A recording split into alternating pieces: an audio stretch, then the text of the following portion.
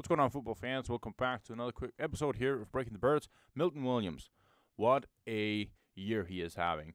Uh, quietly been one of the best run-stopping def- defensive tackles in the NFL.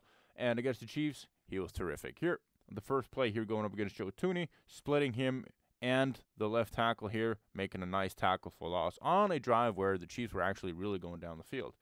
Next up right here, we have him lined up in the four-eye technique, so right on the inside of the tackle, jumps out in the wide nine, Good engage on the tight end. He has no shot.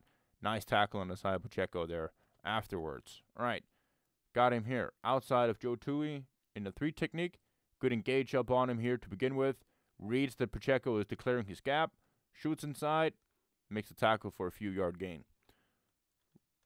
Consistency with Milton Williams. Right here. Line up in a four technique. Right across from the left tackle. First on takes on a double team from him and Thuney quickly disengages in there, makes a tackle for about two two yard gain.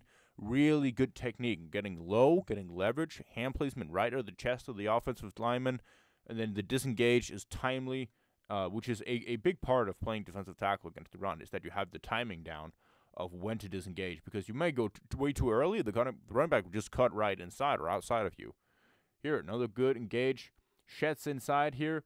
Doesn't really get the wrap up of the tackle, but he destroys the entire play. So even though he's not the one making the tackle there, he stalls everything from Isaiah Pacheco and limits this to a no yard gain. It's a, a ter- terrific play as well. Right here on the outside against Joe Thuney, really nice pressure he gets upfield here. Look how he's reading the outside of Thuney at all times. So Pacheco has to go inside, allowing one of his fellow defensive uh, players here to make the tackle. So all in all, terrific game from from Milton Williams. I uh, just want to highlight him because he's I think he's going a little bit under the radar this year.